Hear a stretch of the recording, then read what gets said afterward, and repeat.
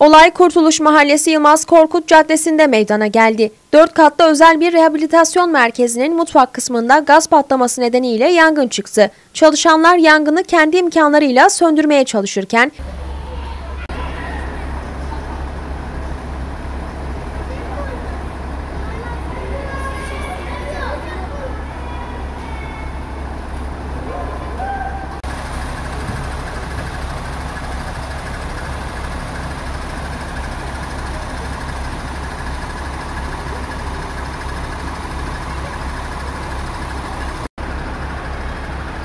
İhbar üzerine olay yerine polis, itfaiye ve 112 acil servis ekipleri sevk edildi. Ekipler kısa sürede yangını büyümeden kontrol altına alarak söndürdü. Olayla ilgili inceleme başlatıldı.